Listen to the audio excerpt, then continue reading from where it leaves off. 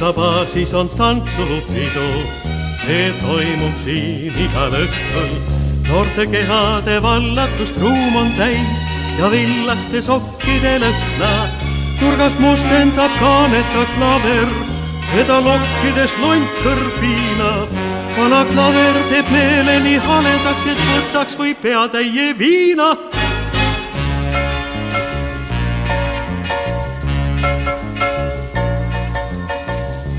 akna taga on pärmatal kuused, üle järve vibub valge rada. vana klaver, kas metsade muusikat sa veel suudaksid tunnetada?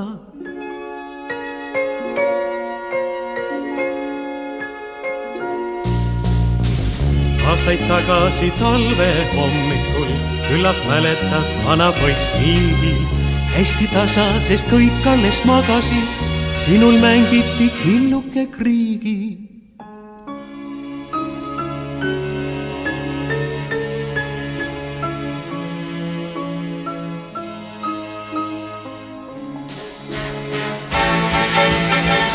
juba siis olid klahvid sul kollased, hääl kui Armstrongil katkev ja käed.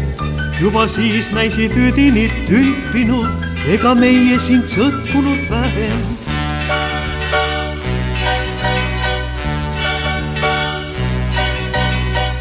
ent sel ammusel talve hommikul nüüd ma reedan sind, härra Sollu.